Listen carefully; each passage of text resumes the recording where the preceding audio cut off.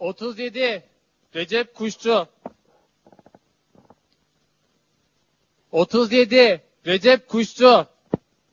Kızım bağ mı sesleniyor la? Recep Kuşçu. Bağ mı seslendin? Doktor oğul. Recep Kuşçu sen misin amca? Hoş geldin. Ercep Kuşçu'nun oğul. Recep, Kuşçu, yazmışlar. Kardeşim ışa. Babam kutuyu Ercep vermiş. Geçmiş olsun amca. Sağ ol. Neyin var şimdi? Ne, ne gibi rahatsızlığın var? Vücudumda alaca bulaca bir şeyler çıktı oğul. Daha önce doktora gittin mi sen? Bıldır sene Hırışak İstanbul'a çağırdı beni. Baba dedi sen dedi bir muayene ettiren. Ondan sonra götürdü beni buzdolabı gibi bir yer. Çamaşır makinesinin kapağı gibi böyle bir soktular beni çakal inine girer gibi. Ee sonra? Oğul canlı canlı böyle Azrail gözüme şah göründü oğul.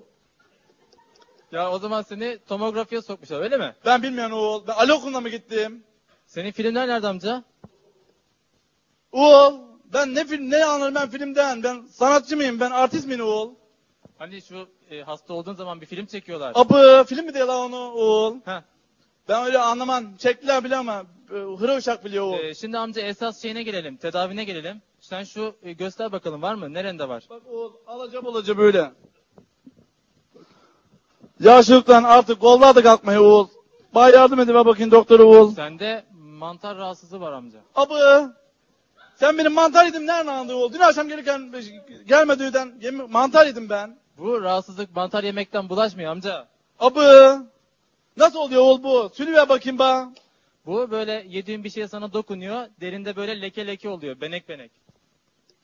Bizim koydaki harmandı bir mantarla oldu oğul. İçi kızıl, cincili, kara mantar. Öyle bir şey mi oluyor ki oldu bilmem ben.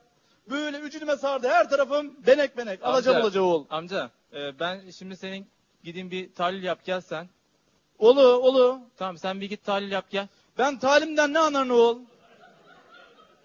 Ya sen iki dakika bir git bak şuradan çık koridorun Talim hemen abi bizim solunda. koyda hayvanlara veriyor talimi. Sen bir koridorun soluna git Sen gel. ağlamıyorsun işte sen doktor musun? Doktor diye seni bu oturtmuşlar buraya. Ben gidiyorum koyun meşa. Mantar yerine iyi olurum.